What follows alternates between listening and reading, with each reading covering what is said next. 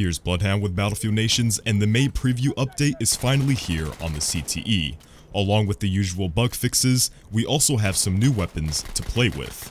If you remember the 7 new weapons that were data mined from the community test environment last week, it looks like one of them is finally making its way to the game. The Thompson Annihilator in a trench variant is here, but with a few tweaks.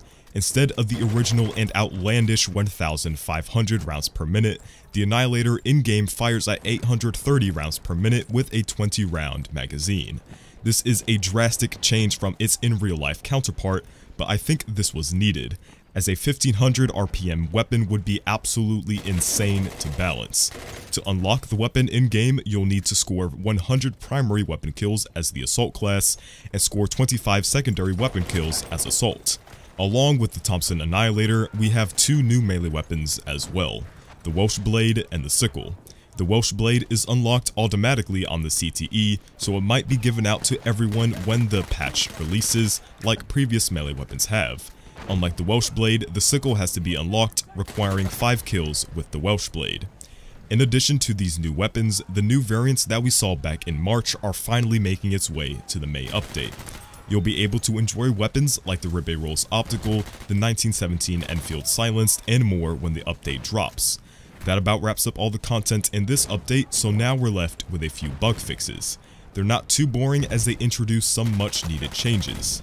A minute change to the spectator mode on PC, the mouse now disappears after a short period of time of being inactive, so I'm sure any screenshotters and content creators out there will welcome this change as you don't need to worry about your mouse cursor being included in the shot.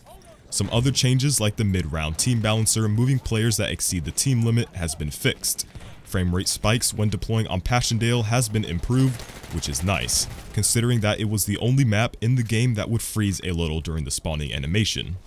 Another change is the increased reload time of the HE cluster bombs on the Ilya Muromets heavy bomber, from the previous 3 seconds to 10 seconds, along with a slight tweak to the way the bomblets are deployed so the cluster bombs are spread out more evenly. This is probably the biggest change in this update as it's a slight nerf to the powerful heavy bomber that plagues the vanilla game right now. If you're interested in any of the other changes in this update, I'll leave a link in the description below to the patch notes.